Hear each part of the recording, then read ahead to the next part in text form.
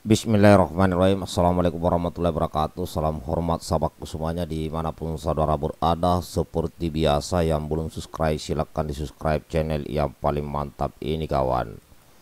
Baik di sini saya akan menyampaikan informasi kepada sahabatku terkait kebrutalan OTK di Papua ya yang diduga dia adalah KKB. Ini saya bacakan beritanya dulu kawan, baru kita bahas brutal usai bunuh anggota TNI dan bidan istrinya KKB juga potong jari anak balita. Ini dari Yalimo. Aksi kelompok kriminal bersenjata semakin brutal dan keji secara sadis mereka membunuh bidan desa yang bertugas di puskesmas Elim. Sri Lestari Indah Putri 33 tahun bersama suaminya yang merupakan prajurit TNI serta Eka Andrianto Hasugian 28 tahun. Tak berhenti itu saja, brutal KB di wilayah Kabupaten Yaulima itu berlanjut dengan menyasar anak dari kedua korban. Anak yang masih balita dipotong jari tangannya. Peristiwa kejadian ini terjadi di Jalan Trans Elim, Kampung Elim, Distrik Elim, Kabupaten Yalimo.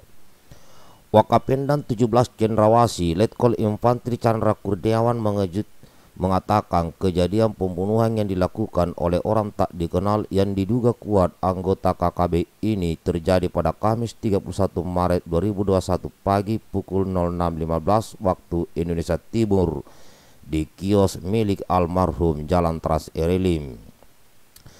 Korban yang merupakan tenaga kesehatan di Puskesmas Elim Yalimo yang sering membantu masyarakat khususnya dalam persalinan ibu-ibu. Saat terjadi pengungsian di wilayah Kabupaten Yalimo, almarhum juga terjun langsung membantu para pengungsi, kata Chandra. Demikian pula suaminya almarhum serta Eka Andrianto Asugian yang merupakan babinsa selalu membantu masyarakat sekitarnya. Tambahnya, kedua jenazah almarhum akhirnya dievakuasi untuk dilakukan autopsi. Anak almarhum yang masih balita diungkapkan Chandra turut menjadi korban keganasan OTK tersebut jari tangannya dipotong. Terkait siapa pelakunya masih belum diketahui dan saat ini para saksi-saksi sedang dibintai keterangan di Polres Yalimo. Sementara untuk tempat pemakaman masih dikomunikasikan dengan pihak keluarga Tutut Chandra. Nah ini kawan ya eh, terjadi lagi kembali korban ini tidak ada henti-hentinya ini. Nah, kembali terus korbannya Papua. Ya OTK tapi ini kan namanya OTK ini ini KKB ini. Jadi ini sudah tidak ada lagi ampun ini KKB ini. Ya anak korban eh, korban anak kecil pun dihantam anak kecil pun. Ya. Ini harus terbuka matanya semuanya ini harus terbuka. Semuanya. Para elit-elit politik. Ya. Kita yang di Jakarta hanya sibuk saling meng, ya di apalagi di medsos. Ya sibuk pencitraan para pejabatnya nih Ada yang sibuk saling menjatuhkan para elit-elitnya. Ada yang sibuk dengan haus kekuasaan.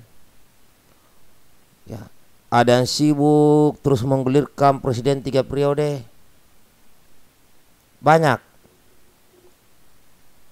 Tapi kalian tidak mau ap, tahu apa yang terjadi di Papua yang bagian daripada negara kesatuan Republik Indonesia. Ya korban masih terus berjatuhan. Ya belum lagi ribut-ribut. Masalah kebijakan Panglima TNI ya dan itu adalah rananya TNI terkait anak cucu PKI boleh masuk daftar TNI semakin ribut Sedangkan di wilayah Indonesia Timur sampai sekarang ya belum selesai, belum ada kedamaian karena masalah Papua ini tidak, tidak bisa hanya diselesaikan dengan cara-cara militer, tidak bisa. Ini harus ya bersamaan diselesaikan secara politik, secara ekonomi.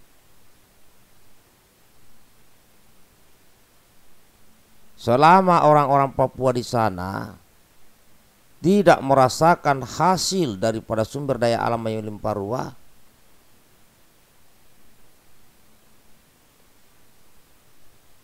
ini tidak akan bisa damai kawan. Selama para elit-elit politik, pejabat-pejabat, oknum-oknum hanya berharap fee ya apakah dari Freeport dari tambang emas di Papua hanya berharap fee ya oknum-oknum ini hanya bisa korupsi untuk memperkaya diri dan kelompoknya maka tidak menutup kemungkinan akan bertambah jumlahnya orang-orang Papua untuk bergabung kepada mereka KKB.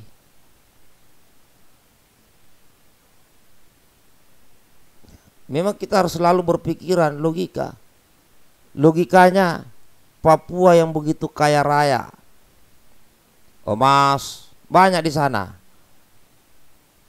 Tapi kenapa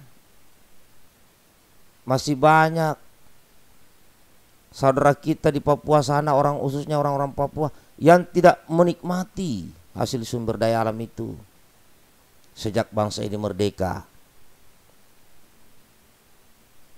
Bahkan ramai terus sampai sekarang. Jadi mereka belum punya ketenangan. Belum merasakan apa itu perdamaian, belum. Kenapa? Sewaktu-waktu terjadi ancaman. Nah, yang jadi korban aparat gugur terus menerus. Baik dari TNI maupun Polri. Bahkan warga biasa ikut turut korban. Ya. Di satu sisi itulah saya bilang elit-elit politik di satu sisi. Terus saling menjatuhkan saling menjelekkan dan memperbutkan kekuasaan.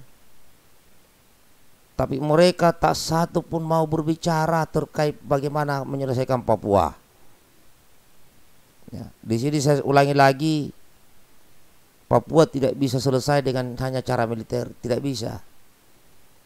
Banyak bidang yang harus bergerak bidang ekonominya, bidang politiknya, sosialnya itu harus terikut ke dalamnya.